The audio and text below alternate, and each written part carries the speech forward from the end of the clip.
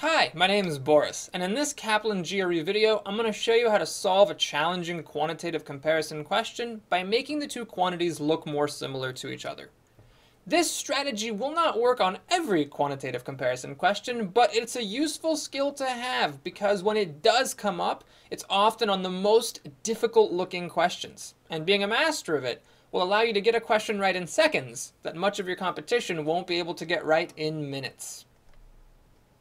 Here's a good example of what I'm talking about. At first glance, this problem seems completely bewildering. The GRE on-screen calculator does not have an exponent button, and even if it did, these exponents would probably be too big for the calculator to handle. So how do we solve this? Here's what you should observe as a strategic test taker. Every term in both quantities has a power of 5. All we have to do is divide every term in the problem by the smallest power of 5 that we see. Of the three powers, 18, 16, and 19, 16 is the smallest, so we divide everything by 5 to the 16th power. And now we simplify. 18 minus 16 is 2, so the left term is 5 squared.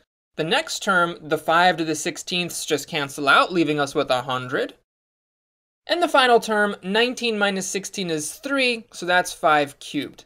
And hey, this is math I can do in my head. 5 squared plus 100 is 25 plus 100, also known as 125. And 5 cubed is a number you should know off the top of your head. For the GRE, it's good to know your cubes up to 6 or 7. But even if you don't, it's not the end of the world if you have to type 5 times 5 times 5 into your calculator and get that that is also 125.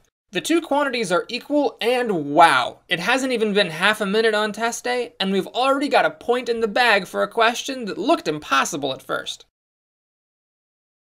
Thank you for checking out our video today. To find out how you do on test day, check out Kaplan's free practice test for the GRE. Or if you're ready to tackle some questions now, click the homework link in the description below. Finally, don't forget to subscribe to Kaplan's Grad Prep YouTube channel for more awesome content designed to help you master the GRE. Goodbye, and we wish you all the best of luck in your prep.